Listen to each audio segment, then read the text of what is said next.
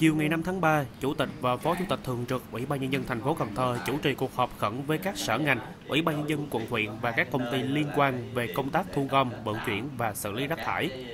Ông Trần Việt Trường, Chủ tịch Ủy ban Nhân dân thành phố cho biết, mấy ngày nay việc thu gom, vận chuyển rác bị ứ động, người dân và báo chí phản ánh liên tục.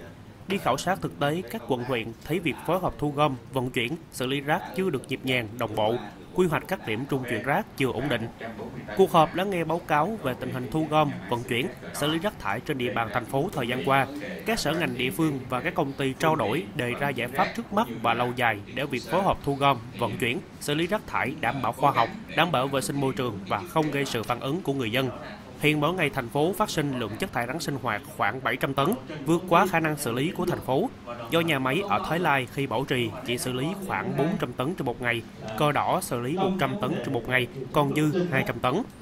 Về thời gian tiếp nhận rác thải tại nhà máy ở Thái Lai, công ty EB Cần Thơ. Trước đây, nhà máy nhận từ 5 giờ đến 24 giờ hàng ngày, nhưng từ ngày 15 tháng 2 năm 2023 đến nay, nhà máy chỉ tiếp nhận rác từ 5 giờ đến 13 giờ hàng ngày theo đúng hợp đồng. Việc này dẫn đến tình trạng vô dư rác tại các điểm tập kết, trạm trung chuyển tại các quận huyện, đặc biệt là điểm tập kết rác tại phường An Khánh, quận Ninh Kiều, đã tạo thành điểm nóng ô nhiễm về môi trường, gây bức xúc trong cộng đồng dân cư. Kết luận cuộc họp, Chủ tịch Ủy ban nhân dân thành phố Trần Việt Trường đồng ý các giải pháp mà các cơ quan và Phó Chủ tịch thường trực Dương Tấn Hiển đưa ra. Cụ thể, Chủ tịch Ủy ban nhân dân thành phố đề nghị huyện Cờ Đỏ phải đảm bảo diện tích cho 10.000 tấn rác, về vô dư 200 tấn trong một ngày. Nếu công ty xử lý rác thải ở Cờ Đỏ đảm bảo khả năng mỗi ngày đốt 150 tấn rác thì vẫn dư 50 tấn. Ông đề nghị Sở Tài nguyên và Môi trường liên hệ ngay để xử lý tiếp 50 tấn còn lại, không để tồn động trong dân.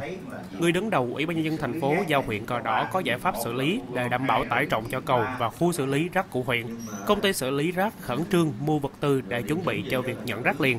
Chủ tịch các quận huyện có quy định rõ trong dân thời gian nào tập kết rác trước nhà hoặc điểm trong hẻm, tính toán thu gom rác nơi công cộng, có giải pháp lắp camera ở nơi công cộng, trong khu dân cư để có chế tài với người vứt rác không đúng quy định.